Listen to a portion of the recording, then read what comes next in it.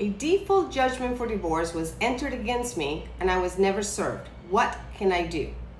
Hello, everyone. I am Bonnie Leonardo and I'm the, an attorney and owner of LJ Law Family Law.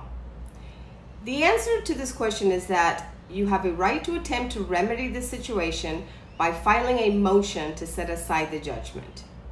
In your motion, you must show the judge that you failed to answer due to a mistake or you had an excusable uh, reason for not answering, such as a neglect or you were surprised.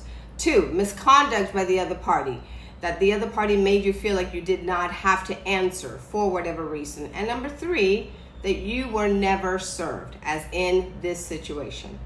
One important thing to remember is that this has to be done within six months of the filing of the default.